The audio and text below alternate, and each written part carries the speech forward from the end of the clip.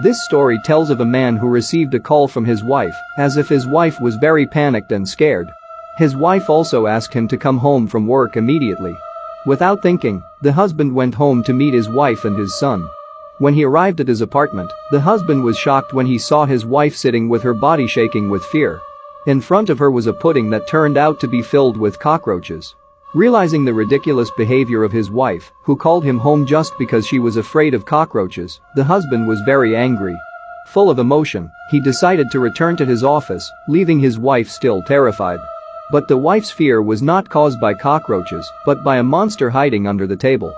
The monster looked at her with a hungry look, with dozens of cockroaches crawling all over its body.